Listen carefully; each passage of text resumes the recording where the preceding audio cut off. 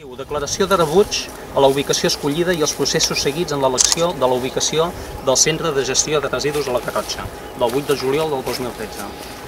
A hores d'ara, resulta evident que el Consell Comarcal de la Garrotxa té la determinació d'imposar al territori una finca concreta a l'hora de projectar una planta de triatge de la comarca, fins al punt que no tenim gens clar si el mandat que té és fer un centre de gestió de residus per fer del sistema de recollida i tractament de deixalles un sistema més eficaç i eficient o ocupar un sol no urbanitzable al Pla de Can Coma de Baix.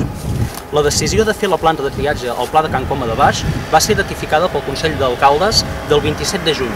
en un intent de corresponsabilitzar també els alcaldes de la mateixa manera que dijous vinent en plenari del Consell Comarcal es corresponsabilitzarà els, consells, els consellers comarcals de la decisió. Aquesta decisió no va estar extemta de polèmica, doncs alguns alcaldes van manifestar, primer, que no els agradaria viure aquesta situació al seu municipi, segon, que entenien perfectament el posicionament de Sant Jaume de Llierca en tot l'afer, però també van eh, manifestar que es tractava d'un tema que s'havia polititzat i que ells els tocava dir allò que els deia el partit que havien de dir. Per tant, eh, també aquí en traiem unes conclusions que és que no queda clar si tots els alcaldes, eh, que de forma obedient, obedient i segurament contra els seus propis principis, eh, tenen clar que qui els ha escollit doncs, és el poble, és el territori i no un partit polític. Per tant, creiem que aquí pot haver una falta democràtica. Eh, també vam constatar en aquest Consell d'Alcaldes que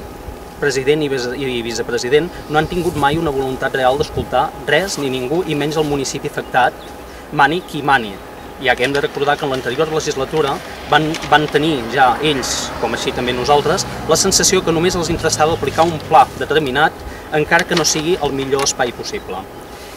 I ara sembla que més té pressa, és a dir, la Generalitat de Catalunya està redefinint el pla sectorial que determina on s'han de fer aquest tipus d'indústries de residus i està previst que aquest pla vegi la llum a l'octubre. Aquí, en canvi, sembla que no es vol perdre ni un minut i es vol comprar la finca com més aviat millor, a risc de que potser a l'octubre la Generalitat determini de que la planta de triatge no és necessària o que potser encara faci falta esperar uns anys, per la qual cosa fem una altra lectura, que és a dir, eh, potser eh, la situació econòmica, que és prou difícil,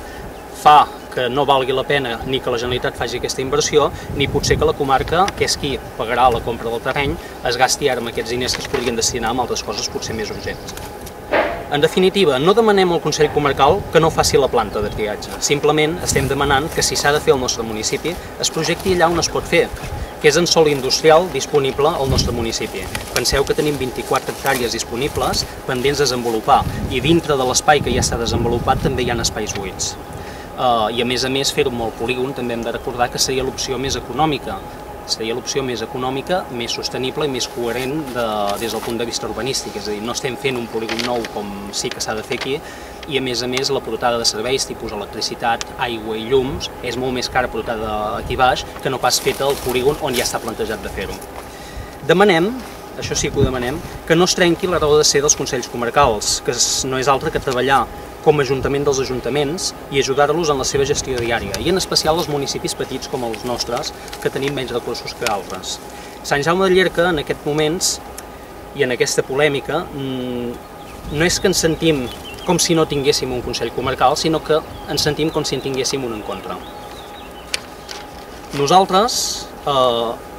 com a municipi, podem veure com es construeix aquesta indústria de residus fora de l'espai industrial i, a més a més, tenint en compte que és una indústria de residus que no vol ningú de la comarca. Hem fet la pregunta a tots els alcaldes a qui la voldria i ningú va aixecar la mà, per entendre'ns. I, per tant, és una situació que, malgrat tot, acceptem pel bé de la comarca, perquè actuem amb la màxima responsabilitat. Uh, ara bé, creiem que el país no es pot permetre ni llançar els diners en projectes mal plantejats ni mal gestionats, ni veure uh, la més que dubtosa actuació política que ha tingut el Consell uh, Comarcal, on els seus responsables polítics gestionen, a vegades creient-se per sobre del bé i del mal, a vegades mirant de forma arrogant i de forma superfa les, per sobre les espatlles dels ciutadans i a vegades uh, traient pit uh, davant de cada imposició i traient, i traient també traient el propi municipi pel que fa al, al principi d'autonomia local i al principi de subsidiarietat, que diu que el territori més proper, l'administració pública més propera allà on hi ha una problemàtica, és aquella que té més capacitat eh, de trobar una solució, ja que és la que millor coneix precisament el territori.